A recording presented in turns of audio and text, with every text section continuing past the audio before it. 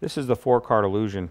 With this one, you show one card face up, the rest face down. A little spin, a little snap, and now you get three cards face up. I want you to watch close. When you snap your fingers, you can actually take this and make it change to four aces.